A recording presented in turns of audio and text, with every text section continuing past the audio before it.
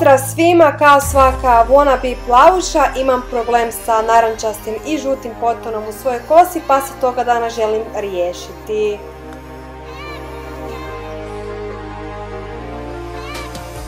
Koristim od Švarckog pa neku novu gel boju, e, stavit ću slike da vidite željene i očekivane rezultate. Češljala sam te i sad ćete vidjeti redoslijed stvari koje ću koristiti za bojanje svoje kose.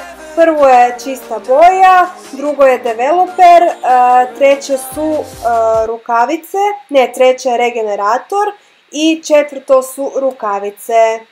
Ručnik naravno da ne oštetimo odjeću, moj plašt nevidljivosti, ova divna punđica, mix, mix, mix i krenimo.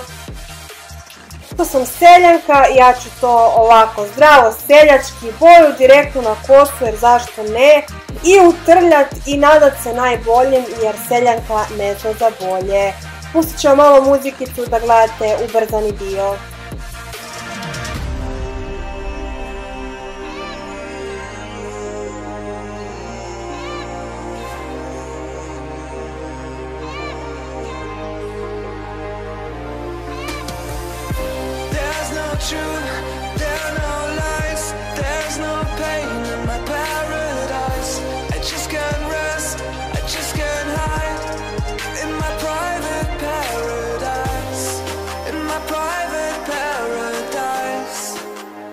Ne znam zašto sam mislila da će ovo biti zabavno.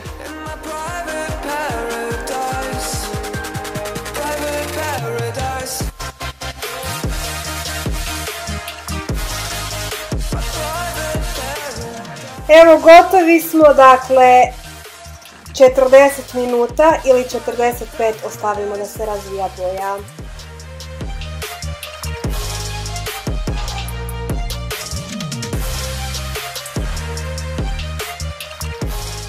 Vrijeme je za veliko, veliko otkrivanje.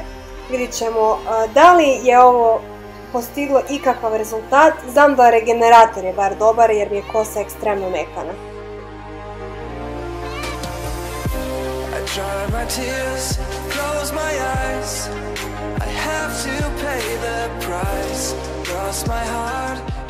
Sad se ide malo počešljat, ali vam mogu reći da uživo na kameri mi kosa izgleda uh, narančaci nego kad smo počeli, ali uživo stvarno mi je malo toniralo kosu, iako nekoliko sam htjela i očekivala.